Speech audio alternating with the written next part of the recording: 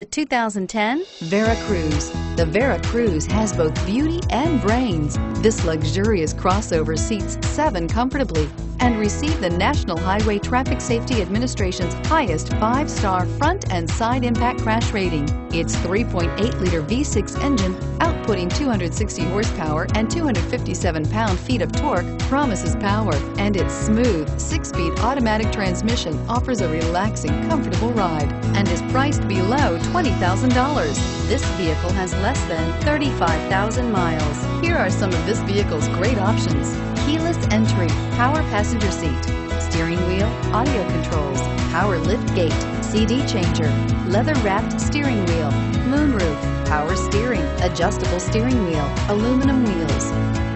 A vehicle like this doesn't come along every day.